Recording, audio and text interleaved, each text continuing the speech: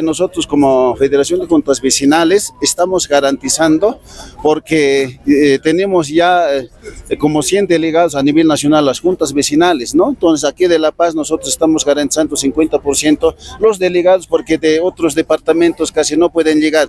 De esa manera nosotros como juntas vecinales vamos a ser partícipes de este congreso del MAS EPCP que es del pueblo, no es de una sola persona, ¿no? Entonces eh, el 3, el 4 y el 5 estamos nosotros ya juntamente con otras organizaciones sociales para estar presente en ese evento tan importante para el futuro de nuestros eh, hijos, para el futuro de nuestro país, del Estado Plurinacional de Bolivia. ¿Cómo califican la actitud de la dirección del MAS que no quiere sumarse a este por eso, como le indicaba, ¿no? Porque ahorita en este momento son pequeños grupos de, eh, que están queriendo distorsionar, porque la gran mayoría están las organizaciones sociales como Pacto Urbano, como Pacto de Unidad, Central Obrera Boliviana, todas las organizaciones se van a concentrar ese día. Es del pueblo, para el pueblo, no solamente con aquellas personas con intereses personales que quieren distorsionar. Eso no lo vamos a permitir. Nosotros debemos construir todos unidos nuestra querida patria para que tengamos la economía social, político estable, ¿no? Eso es lo que se quiere, de esa manera nosotros